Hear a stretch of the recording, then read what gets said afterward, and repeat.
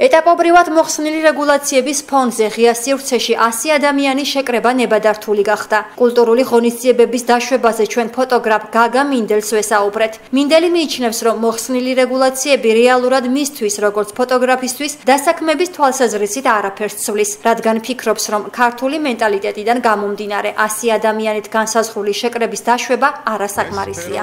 თითქმის გაანადგურა რა ამ პანდემიამ 6-7 თვე უკვე მერვე თვეა ფაქტურად ჩემოსავლის garaში დავრჩით ფოტოგრაფები და ეხა კი დაუშვეს ასკაციანი ქორწილები, მაგრამ ეგ იმდენად არაფერს არ ნიშნავს, რომ მაინც კეთდებოდა მსგავსი ქორწილები აქამდეც, მაგრამ უფრო ხალხი ელოდება, რომ ბოლომდე დაუშვან და 200-კაციან, 300-კაციანი ქორწილები გააკეთონ ქართველი კაცის ხასიათი ხო ვიცით რა და აქედან გამომდინარე მაინც ძალიან ნაკლებადაა ქორწილები. ერთჯერად დახმარება 300 ლარის სახით და დაზარალებას რაც შეეხება მხოლოდ მე არა თითქმის ყველა ფოტოგრაფი და ოპერატორი დააზარალა ძალიან ისე არა ქორწილებზე არიან ბიჭები დამოკიდებული და ფაქტურად ქორწილები არც ყოფილა 6-7 თვე და შემოსავლის წყაროც მაქედან გამომდინარე არაფერი არ ქონდა. აი რო დაუშვან 300 კაციან ქორწილებს შეულებროთ რესტორანში რაც იყო აქამდე რო დაუშვან ხა ხო არაფერი არ იცლება, იმით 100 კაციანი ქორწილი იქნება, იქ გადაედება ადამიანს თუ 300 კაციანი ქორწილი, რა რა მნიშვნელობა აქვს?